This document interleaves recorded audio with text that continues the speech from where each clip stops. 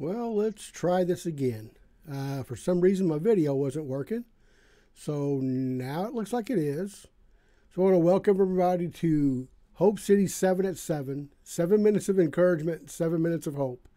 We provide these because we believe that we live in times now to where we need some hope and encouragement on a regular basis. We want to give that to you. And so we want to thank everybody that's joining and everybody that will join. And we just thank God that we have the ability and the opportunity to do this for you. So this last Sunday, Pastor Dana uh, was ministering on Thanksgiving. And we're continuing our, uh, our uh, sermon series, Vital Signs, Hope of a, uh, Vital Signs of a Healthy Believer. And one of the vital signs of a healthy believer is Thanksgiving. And Pastor Dana ministered this Sunday on that. And I'll tell you, if you haven't listened to the sermon, I, I, I highly encourage you to go and download our app, go to our website. I don't care how you do it, but man, you got to hear it. I'm telling you, she's got a lot of stuff in there that'll be a blessing to you and it'll encourage you. And one of the things that she talked about how when we it's when we give thanks, it denies the circumstance of the power over us. It denies the circumstance the right to influence us in any way, shape, or form. And I love that because a lot of times people react to darkness instead of responding to the Father.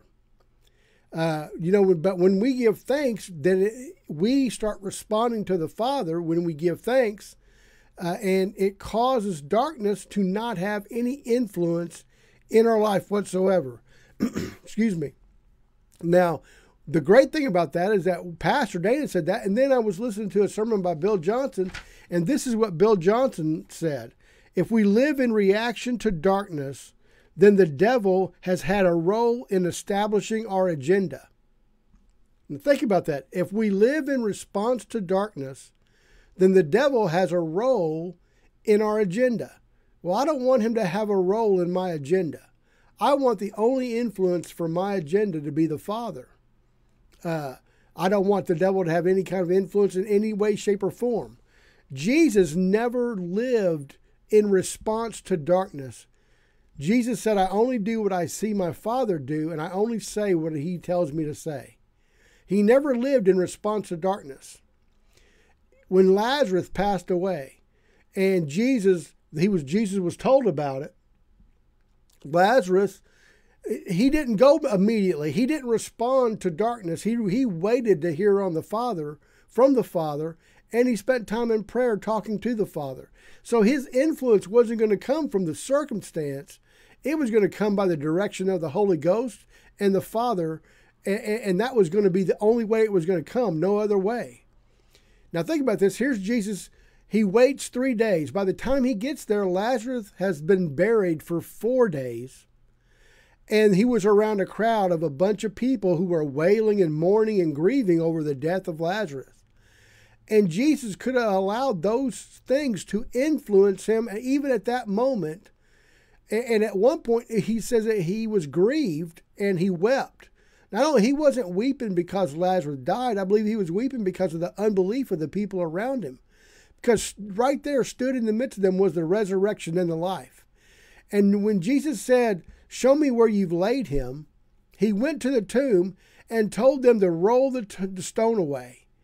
And he didn't, you know, he, then what did he do? The first thing that he did, he said, Father, I thank you that you always hear me. He, he didn't go, Father, I hope this works. You know, no, he was the, he, he already knew what God would do and what was going to happen. He knew the outcome of this because he never let circumstances dictate his agenda. He never let the darkness dictate what he was going to do. He always responded to the Father and in the light of what God says about us. And what's he do? He says, Father, I thank you. There he is. what did he do? When he gave thanks, he denied the circumstance the right to have any influence, not only on him, but the other people around him. And I man, I tell you, that is so good.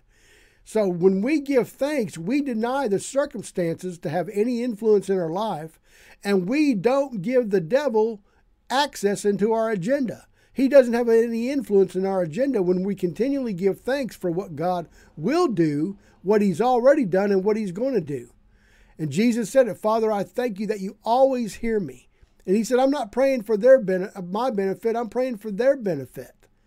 Well, that's all the time that I have. I want to thank everybody for joining. Sorry if I had a little glitch when I first started. It looked like my video wasn't playing, but maybe it was. I don't know.